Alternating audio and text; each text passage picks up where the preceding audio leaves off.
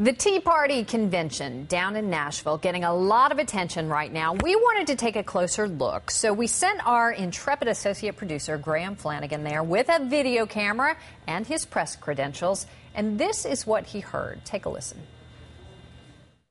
You know what we're here for? A little bit of R and R for revival and revolt.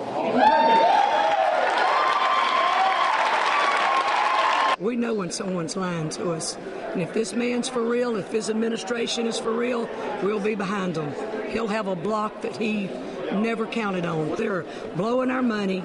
They're ripping it apart like we can just spend, spin, spin. They need to stop that spending because we've tightened our belt and we, they're going to tighten their belts. And y'all start listening to us. We pray for the media.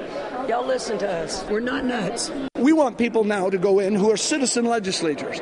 We want the homeschool moms. We want the ex-military people. We want the uh, the doctors and we want the lawyers. People who know how to balance a checkbook. And we want the permanent political class thrown out.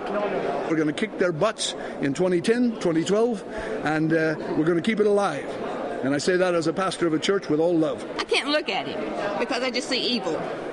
I see he's a force of evil. He's he's on the opposite. He's on Satan's side. Everything he does and says is totally against uh, what the Word of God says. He doesn't speak the truth. He doesn't know the truth.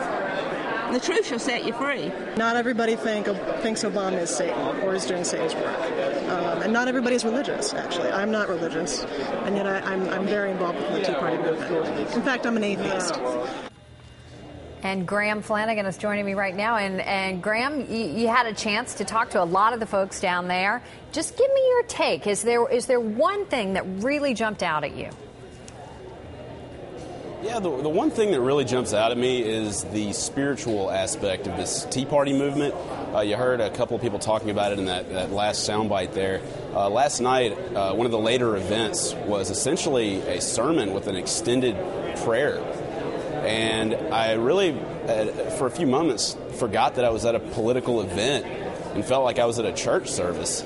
So you, you heard in that soundbite that there's some, uh, there are two ends of the spectrum, and some believe that that uh, spirituality and, and, religion should play a, a, major part in this Tea Party movement, but there are some that uh, the more fiscally minded people that think that it shouldn't. So I think that it's going to take a lot of time and a lot of hard work for these two ends of the spectrum to come together and for the Tea Party movement to play any kind of significant role in the political landscape. As they still try to define themselves. Uh, absolutely. Graham, thanks for doing that for us. Appreciate it.